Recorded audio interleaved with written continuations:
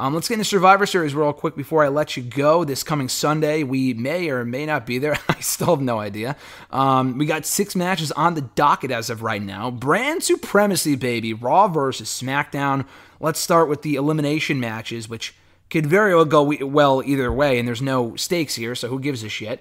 Um, a Team Raw for the men: Seth Rollins, Finn Balor, Kevin Owens, Bobby Lashley, and Austin Theory replacing Rey Mysterio on Monday's Raw. Despite Adam Pearce saying a week ago he wanted champions on the team, I like Austin Theory, but that just doesn't make any sense. Team SmackDown, Drew McIntyre, Jeff Hardy, King Woods, Happy Corbin, and still one more person to be announced on SmackDown because they took Zayn off the team a week ago. Um, to me, regardless of who joins Team SmackDown, this feels like an easy Team Raw win, especially considering that on Team Raw, I, I know Woods has been mixing it up with Roman re- uh, recently, but you have Rollins who has a title shot in his back pocket. Bobby just came back. He's hot right now. Theory has been undefeated since coming to Raw. Owens just turned heel. I feel like they would be it would be booking malpractice to have Team Raw lose this match for the men. I mean, Team Raw has to win. All these guys are either on a hot streak or in the main event scene. I mean, Woods, like you said, is kind of mixing up with with uh, Reigns, but Drew's kind of doing his own thing right now. Jeff Hardy, I mean, Happy Corbin. I mean, come on. And then who who knows who's going to be the TBA guy? But I mean, this should be Team Raw. LOL. Any predictions, whether it be a Cesaro or a Sheamus or a um, Ridge Holland or maybe even Von Wagner joining Team SmackDown? I hope it's Sheamus. I hope it's Von Wagner just for the reaction. Just so we can come on here next week and shit all over it. Just so we can be there and just completely shit on this thing if it's Von Wagner. And see him be the sole survivor like Randy Orton in 03 and 04. No comment. Terrible. Team Raw versus Team SmackDown for the women. We got for Team Raw Bianca Belair, Rhea Ripley, Liv Morgan, Carmella, and Queen Zelina taking on Sasha Banks, Shayna Baszler, Shotzi, and Natalya. And again, one more person to be announced as Aliyah was taken off a week ago. Thank God. Um, I assume the last spot goes to um, probably Toni Storm. She resurfaced on the show a week ago, so that would make the team stronger. I don't know if I would have Team Raw win both matches, so I'm going to go Team SmackDown here. Um, I know Team Raw has more. I don't want to say they work better together um, because the team hasn't changed yet, but Carmella and Zelina are at odds with Rhea Ripley, so I feel like that'll factor in somehow. Bianca's got something going on with, Dew- with Doudrop, and maybe she'll interfere or whatever. So who knows? And then Liv Morgan is the number one contender to the Raw Women's Championship, but SmackDown's got Sasha Banks they're protecting, Shotzi they're pushing right now, Natalya who gives a shit. Shayna has been involved more recently with the Naomi stuff, um, but I feel like this has got to be a win for Team SmackDown. I think. Couldn't agree more. Um, I feel like Raw has more dissension on the team. They can leave it to like, like I said, Doudrop can cost Bianca, so she's out. Carmella and Zelina screw over Rhea then they just get beat, whatever, and then you just have Liv Morgan as like the one sole person on Raw, and then she doesn't look as bad if there's still like three or four people on SmackDown she loses. Yeah, no, I would I would like to see Shotzi and and um, uh, Sasha kind of cancel each other out, and then Shane is the sole survivor, and it's Shane. I think Shayna and Liv Morgan. I mean, this is what I wanted to see in the, in the finals of the Queen's Crown tournament. Um, yeah, kind of. I think that'd be a great dynamic, and then Shayna ultimately wins, and then that'd be cool. Um, any prediction for who the final spot could go to? Probably Toni, right? I would assume Toni since she came back on SmackDown like a week or two ago. Yeah, I mean Naomi and Sonya got their thing going on, so it probably won't be either of them. Um, let's get to the champions matches here. Damian Priest versus Shinsuke Nakamura. Zero build at all. Priest hasn't been on the show in weeks. Nakamura has been losing a lot lately, so it should be a great match, but the booking, it's hard to care. Uh, Priest is the one they're protecting now. I mean, the guy hasn't lost, I don't think, in, in many, many, many months.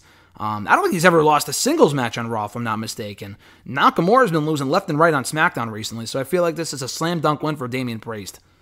I was just say you got to go Priest here. I feel like he's more more over. He's a bigger uh, like priority right now. Um, I like Shinsuke, but I mean Priest hasn't lost it forever either. So yeah, Priest one here. Yeah, give him the big push. Keep pushing him towards the um, you know main event scene, and hopefully we see him in the world title picture before long. Uh, going to the tag team champion clash here, RK Bro, Raw tag team champions against the SmackDown tag team champions, the Usos. This one can go either way. I really don't know. I'm going to say the Usos. I know the Usos won on Monday's Raw in that six man tag, so I guess the I guess RK Bro could win.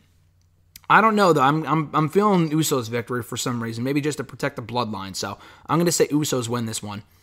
I'm saying RK RK Bro wins this one. Keep keep the Usos losing, keep Roman on their back. Okay. Keep, I mean, I could so see like Omos coming out and screwing RK Bro and Usos winning, but I feel like. Eh, I get, eh, yeah, I'm gonna go with RK Bro, but I mean, I wouldn't be shocked if the Usos won either. No, I could see this going either way. I, I, didn't really think about that, but yeah, the Usos could lose and leading to more dissension within the bloodline. That would make sense. Um, Raw Women's Champion versus SmackDown Women's Champion. Becky Lynch versus Charlotte Flair. Again, another one that can go either way. Um, Becky's got more momentum right now, I think, but it wouldn't surprise me to see Charlotte win. I mean, Becky has beaten Charlotte far more often, I think, than Charlotte has beaten Becky. So Charlotte may need to win more, which is why I could see her winning. I don't know. I just feel like Becky's got a lot more going for her right now. She hasn't really lost a lot since coming back a few months ago. I'm going to go with Becky Lynch in this one. Yeah, I think Becky wins here. I mean, there's a lot of shit going on right now between them. Ric Flair can't stop running his mouth on Twitter. the guy will not feel, shut the fuck up. I think I feel like the company's more behind Becky. I I would honestly be pretty shocked if she lost there. Did you see that Becky clip on? Uh, I think it was Ariel Helwani show or whatever. I did. Oh I my. did. I died laughing. I the the fact that I was the funny thing is that I talked to her like. So she was in the car when I interviewed her yesterday. She was on her way to that appearance, and I was going to ask her about the Ric Flair stuff, but I just didn't have time to touch upon it. Um, but I was going to ask her, like, you know, because Becky's the type of person, like, she tweeted Charlotte because Charlotte like did some interview and she responded to it, whatever. Um, Becky's the type of person it seems to always respond to people taking shots at her if you're like someone of the notoriety of Ric Flair. And I always thought it, I thought it was weird that she didn't respond.